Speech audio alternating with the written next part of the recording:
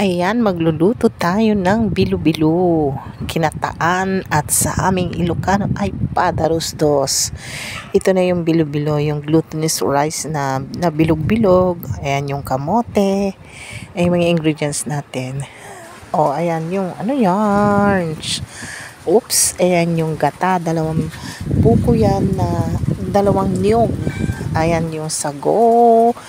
Yung saging at saka mais po. Ayan yung kamote kanina. Naga, ano na. Ayan yung asukal. Ah, ayan. Ready na yung bilo-bilo natin. Ayan yung mga bilo-bilo. Isang, isa't kalahating pack yan. Na glutinous. Ayan yung kompletong recados niya. Actually, hindi yan kompleto kasi ngayong panahon, bihira ang ano, mga root crops kasi baka nawala lahat. So, ayan lang nakita ko sa palengke. So, ayan. Pinakuluan ko na yung gata. Ready na ang Dalawang niyog yan. So, lagyan na natin ating Ayan, pinakuluan ko na. Medyo palatik-latik. After medyo maayos-ayos na, lagyan na natin yung kamote. Simpleng paglulutong lang. Ayan. So, halo-haluin natin para ang kasabihan, pag hinahalo, nag, nagiging masarap daw ang ano, Ayan, hintayin natin na maluto ang kamote. Ayan, pagka naluto na, lagyan na natin yung mais at saka saging na saba. Saging na saba yan. Ayan, saging na saba. Ayan, pakukuluan na naman natin yun. Ayan, yung kikita nyo yung mais yan, mag, maghihiwalay din yan. Joke. Maghihiwalay din kahit dikit-dikit yan na nandyan sa init. Ayan. So, hinahalo-haloan natin. Nahalo-halo natin. Ayan, lagay ko na yung asukal. Asukal yung tama para sa'yo. At para sa akin, yan yung ilalagay mong asukal. O, so, ilagay na natin yung bilo-bilo. Pag naluto na yung mga sangkap na iba, ayan, pinakahuli. Kasi, eh, siya yung lilitaw. Pagka lumitaw na yung bilo-bilo, ibig sabihin luto na.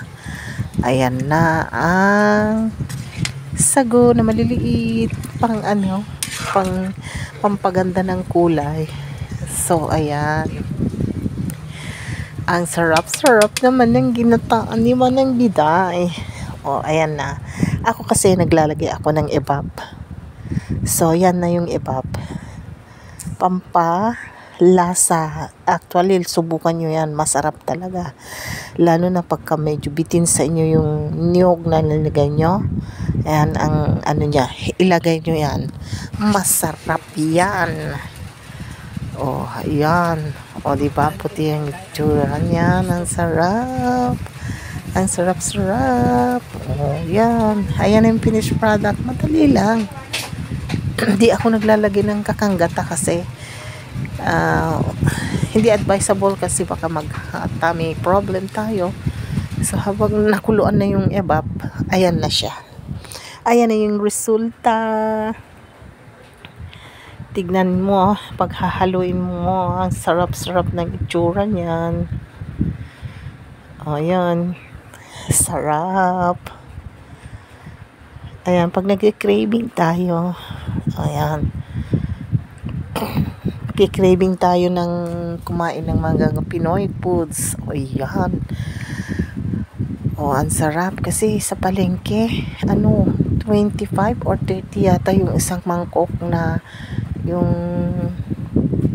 carton na ano, disposable. 30 or something 35. Ayan, ang sarap. Kaya nagluto kami para makakain kaming lahat at nabigyan pa yung mga gustong bigyan. Ayan ang bilo-bilo ni Manang Biday channel. Masarap.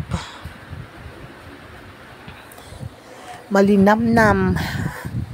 Tamang-tama lang yung asukal na nailagay so shout out sa mga manunood dyan. Thank you and bye